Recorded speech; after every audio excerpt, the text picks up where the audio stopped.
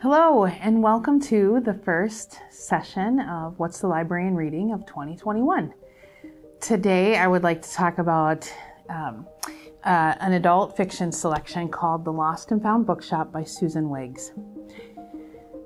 This was a great read.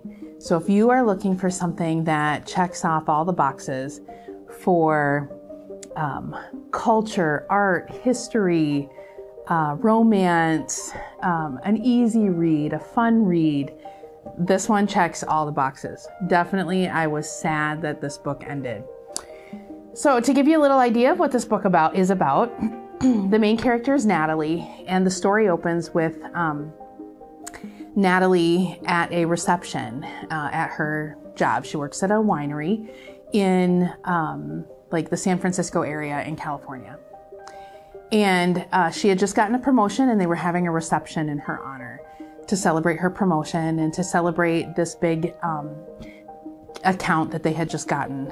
Uh, so it opens, and you're at this reception, and you find out that you know she doesn't really like her job, but it is security. It gives her a good paycheck, um, good health insurance. It pays her bills, and she has security that she felt like she didn't have growing up. Uh, so she doesn't really like it, but this is really her choice and, um, because it meets those needs for her. So she goes through the reception and um, we find out that she had invited both her boyfriend, whose name was Rick, and her mom, whose name was Blythe. And uh, Rick is an aviator and he had a flight test that day, uh, a solo flight test, and wasn't able to come and her mom doesn't come and we find out that that's maybe uh, normal in their life that throughout natalie's growing up years her mom did not show up at a lot of important events for natalie so she wasn't really surprised that her mom didn't show up. But uh, after the reception she goes to the bathroom and while she's in there some coworkers enter and they don't know that she's in there and of course they're talking terrible things about her, and she hears all of this stuff about how um, she's a toxic leader, and um, they're so glad that she's not um, down in the the workroom with them anymore. That she has her own desk uh, across the hall and in her own office, so that they don't have to deal with all of her toxicity and all of this stuff. And so um, they leave. Of course, she's just like in shock that she had heard all this, and she doesn't really like her job anyway, and this just makes it even worse. And um, so she heads home, and um, she had an invitation from a friend to visit for drinks and stuff after the reception. So she went over to her friend's house and just kind of, you know, vented with her friend about all this stuff that had just happened and that her boyfriend and her mom didn't show up and the coworkers were talking bad about her and just kind of gets it off her chest and decides to head home and you know cry it out and eat some ice cream and whatever. Um, and on the way home, she turns on the radio and she finds out that um, a plane in the aviation company that her boyfriend works at, uh, so the the pilot and a passenger had gotten into a plane wreck and had both died. Well, she knew it wasn't her boyfriend because he was in a solo flight um, and so, but she thought she would go to the company and just see if she could offer assistance to the family or whatever had happened. And gets there and finds out that her boyfriend did not have a flight that day. And um, he had picked up her mom as a surprise, and they were flying up to the winery from San Francisco. And um, they were going to surprise her, and he was actually going to propose to her. So she finds all of this out uh, at the aviation company from strangers, and essentially, and um, her life is just wrecked. So enter then like like that's like the preface of the story um, she heads to her mom's business which was um, the Lost and Found bookstore. And she takes some time off from her work and she goes to stay at the bookstore and see um, what the next step should be. Should she um, try to keep the bookstore going and this becomes her new career? Should she um, sell it and go back to her stable life. Um, but there's a lot of complexities involved in either decision, and one of them is her grandpa. She calls him Grandy, and he actually lives in the building of the bookstore. The building has been in their family for many years, 1800s at some point, I think. And his family has lived in that building since then and in some respect. And so, one of the complexities is what to do with Grandy because he is uh, in early dementia, but it is rapidly, his mind is rapidly deteriorating. He often doesn't remember who she is. Um, he often, or Natalie, who Natalie is, his granddaughter, he often thinks that she's his daughter. And so um, every day she kind of has to go fresh into this place of grief with him where she tells him, I'm not your daughter, I'm your granddaughter. Your daughter died in a plane crash, and I'm here to see what we can do. And just every day it's like this brand new horrific news of his daughter's death. And um, she has to go through that with him. And so she's working through you know, what to do with Grandy. Does she put him in a nursing home? And, um, you know, does she try to be his caregiver? You know, what options does she have in that?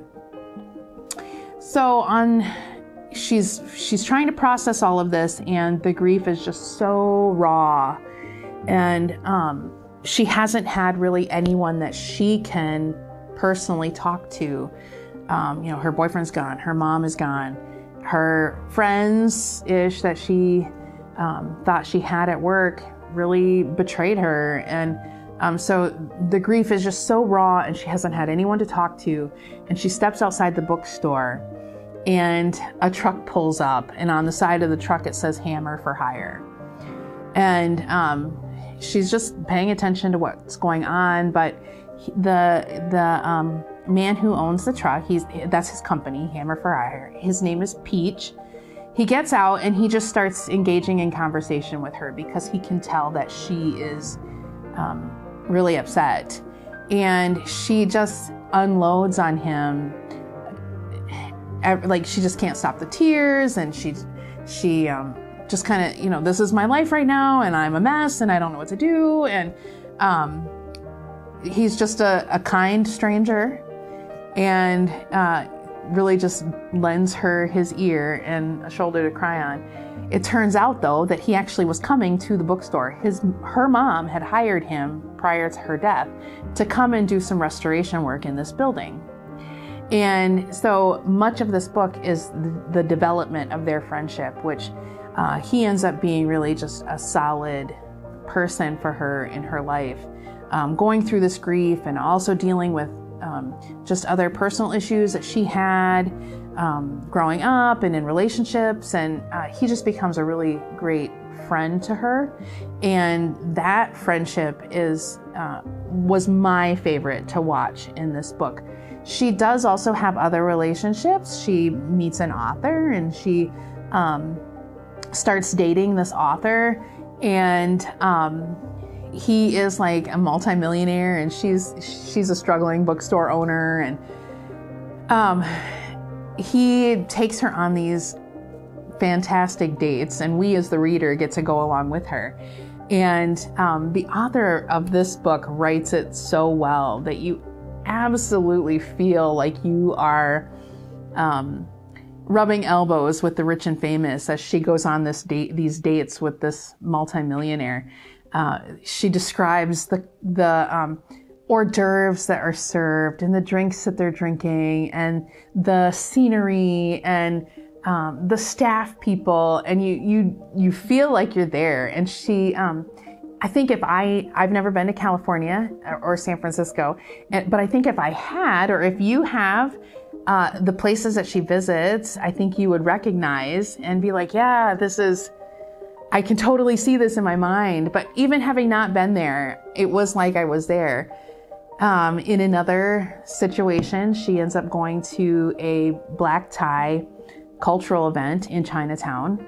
And uh, again, the description is like you're there, you're in this fantastic rich and famous cultural event, uh, and and so you get to see the the cultural exchange and the artistic expression of the artwork that they're there to see, and um, the people that are there. To, it's a fundraising event, so the, the rich people that are there to go to this uh, event, and how she is more relatable, at least to me, in that she's um, you know, she has a meager income and she gets by and she's happy there, but there's this whole other lifestyle that she she gets to enter into, and um, by proxy we do too.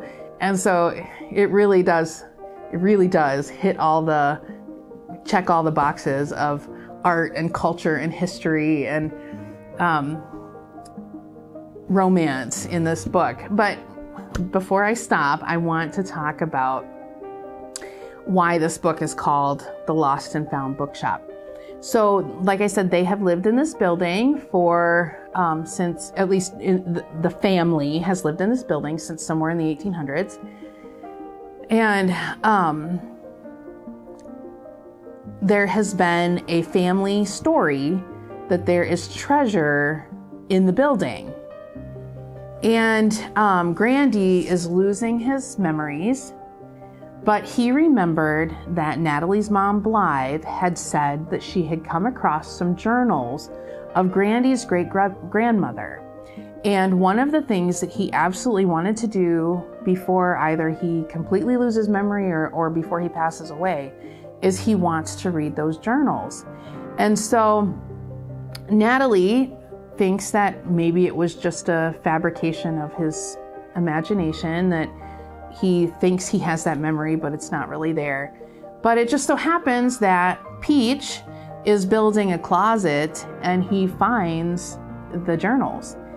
And um, so Natalie and Grandy go through the journals. And so we, as the reader, step back into history as the characters in the book are stepping back into history. And we find out um, what had happened with Grandy's great grandmother and um, how it ties to the building.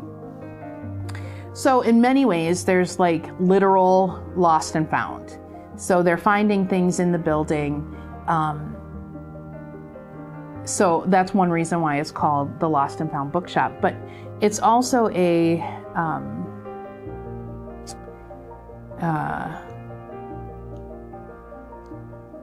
I can't think of the word. It, it's also a. Um, it's not literal in the sense that uh, the lost and found are also the characters in the story. So as Natalie um, goes through the process of grief and goes through the process of deciding what to do with her life and goes through the process of going being in relationships with uh, men again after her boyfriend had passed away and um, so she in many ways was lost and is now found um, Grandy, who is every day he's losing a little bit more, is also finding parts of him as the like as they read the journal and as other things show up in the bookshop or in the building that he remembered and now it's all coming together for him in ways that he had wanted before his death.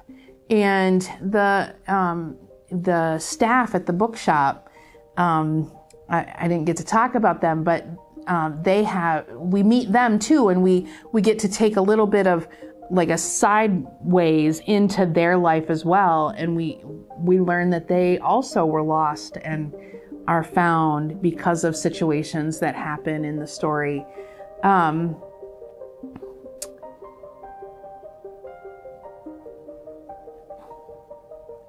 anyway, all that to say if you are looking for a really good read, I highly recommend The Lost and Found Bookshop by Susan Wiggs. It is very, very good and would be an excellent way to spend a few hours on a weekend taking a trip into a lifestyle of the rich and famous, uh, a different culture, um, appreciation of art and history, and um, it, it's just all around fun. Thank you.